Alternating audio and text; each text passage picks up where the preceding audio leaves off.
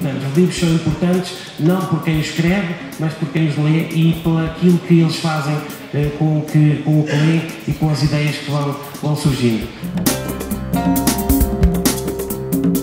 Quando alguém diz, é pá, temos já um jogo, é o quê? Ah pá, é um, é um MOBA. É o quê?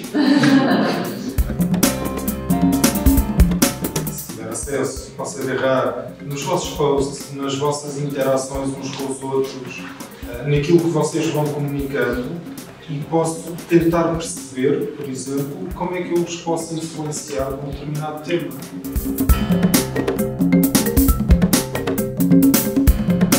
Quando Zezé fala na língua portuguesa como o esperanto, né, dentro da, desse universo que nós temos em relação à língua eu acho que ela tem toda razão. As crianças não percebem. São palavras simples. Autocarro, comboio, berma, travão, isso tudo é grego para eles. Face à produção mundial de livros, cada livro que lermos é 4 mil que não estamos a ler, portanto eu, para não ter a certeza em cima, normalmente não leio muito.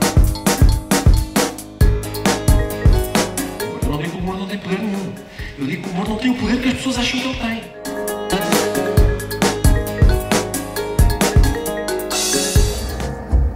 É uma linha. Sempre reta, sempre certa e certa. O caminho é como o poema. Para onde quer que se vire, ainda não existe. Por isso, no bolso, trago apenas a moeda de Heisenberg com o saldo da minha vida.